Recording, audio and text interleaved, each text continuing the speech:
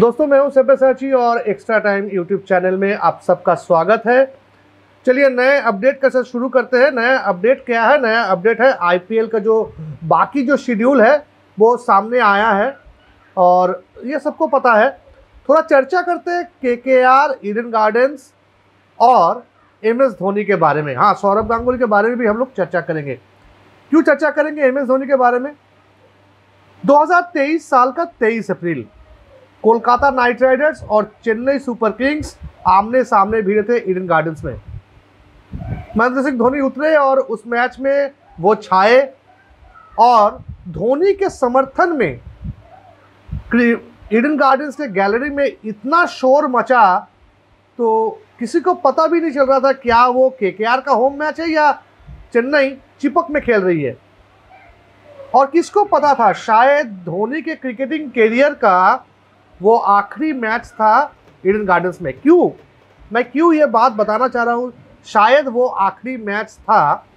अभी बयालीस साल के हैं धोनी और ये जो नया जो फिक्सचर आया, नया जो शेड्यूल आया सेकेंड लॉट का जो शेड्यूल आया है, वहाँ पर दिखाया गया है, चेन्नई सुपर किंग्स और कोलकाता नाइट राइडर्स का बीच जो मैच होने वाला है, इस बार वो है चेन्नई में 8 अप्रैल, यानी कोलकाता नाइट राइडर्स अपने होम ग्राउंड में सीएसके के खिलाफ कोई मैच नहीं खेलेगी। महेंद्र सिंह धोनी इस आईपीएल के बाद क्या संन्यास लेंगे? पूरी तरह से क्रिकेट क्रिकेट से? ऐसी ही अटकेली लगाई जा रही है। पिछले तीन चार साल से यही बात चल रही है, लेकिन इस बार लग रहा शायद वो इस आईपीएल के बाद क्रिकेट को अलविदा कह दे। ये था महेंद्र सिंह धोनी के बारे में। अब आते हैं कोलकाता नाइट राइडर्स के बारे में। देखिए, कोलकाता नाइट राइडर्स का शुरुआत काफ़ी अच्छा था इस बार। देखिए, कोलकाता नाइट राइडर्स का शुरुआत काफ़ी अच्छा हुआ। सनराइजर हैदराबाद को एक नेल बाइटिंग मैच में चार रन से हराकर के ने जीत दर्ज की है। अगला मैच होने जा रही है आरसीबी के खिलाफ, और वो भी बाहर।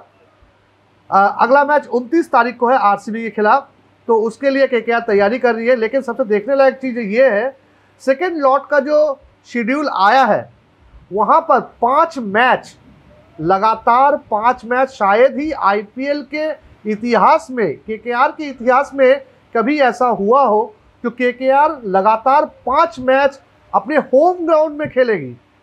ये बड़ी, ये बहुत बड़ी बात है के के लिए के फ्रेंचाइजी के लिए, और के के जो सपोर्टर्स हैं, उनके लिए भी। अब देखते हैं कैसे कैसे शेड्यूल किया हुआ है। 14 अप्रैल कोलकाता के विपक्ष में खेलेगी लखनऊ सुपर जायंट्स। ऐसी एक टीम जिसके मेंटोर थे पिछले साल गौतम गंभीर। संजीव गोयंका का टीम है और पिछले साल एलएसजी और केकेआर के बीच, यानी केकेआर का जो होम मैच था, उसमें उस मैच को लेके, जर्सी को लेके क्या क्या कंट्रोवर्सी हुआ था, ये सबको पता है। अब देखा जाए क्या वो इस बार भी वही चीज़ दोहराएगी। उसके बाद 14 के बाद 17 तारीख को के फिर खेलेगी अपने घरेलू मैदान में संजू सैमसन के राजस्थान रॉयल से। उसके बाद 21 तारीख को Virat Kohli, Faf du Plessis, Glenn Maxwell के आरसीबी के खिलाफ खेलेगी कोलकाता नाइट राइडर्स। 21 तारीख को ये मैच होने वाला है 21 अप्रैल को। फिर अपना घरेलू मैदान में मैच है 26 April, Shikhar Dhawan led Punjab Kings के साथ वो मैच है और आखिरी जो होम मैच होने वाला है वो है गौतम गंभीर वर्सेस दादा। हाँ आप लोग सही सुन रहे हैं? धोनी नहीं खेल पाएँगे इस बार ईडन गार्डन्स में तो क्या हुआ?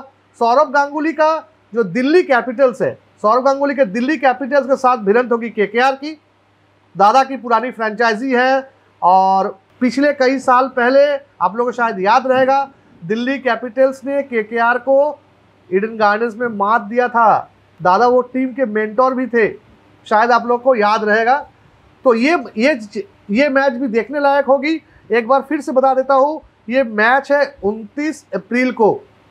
तो अभी से शायद जो जो दादा के भक्त है जो जो के के आर के भक्त है, उस मैच को टारगेट किए होंगे। उस मैच के टिकट के लिए तो दादा के जो भक्त है या या के आर के जो भक्त है, वो उस मैच को टारगेट कर लिए होंगे। उस मैच को देखना है, गैलरी में जाके बैठ के देखना है, मैच का मज़ा लेना है।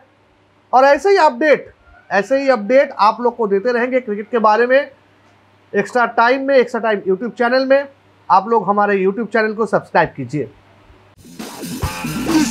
extra time. Extra time.